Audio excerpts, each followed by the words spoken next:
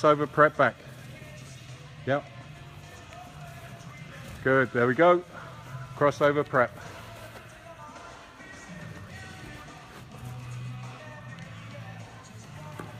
Good, there we go.